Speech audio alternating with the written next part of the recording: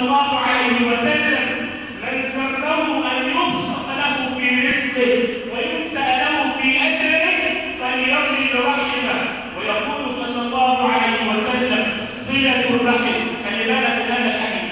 صلة الرحم وحسن الخلق. وحسن الجوار. كعمران الديار. الديار اللي خربت. الطلاق اللي كتب وصلة الرحم.